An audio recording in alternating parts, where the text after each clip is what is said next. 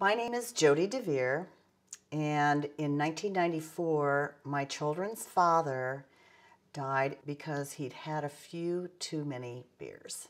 Bert DeVere was 38 years old, a very young man uh, when he died, and it's very sad because it was such a preventable death.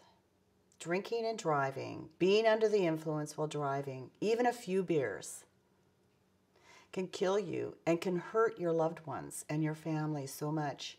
The most difficult day of my life was the morning after their father died. It was about 5:30 in the morning. They were sleeping and I travailed all night of how to break the news to them. And basically I just woke them up and held them in my arms and told them.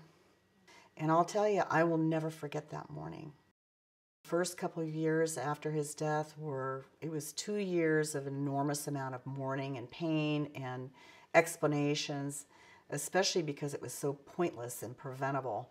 No matter what wonderful mother i am i am not their father and i cannot be their father. So please don't drink and drive.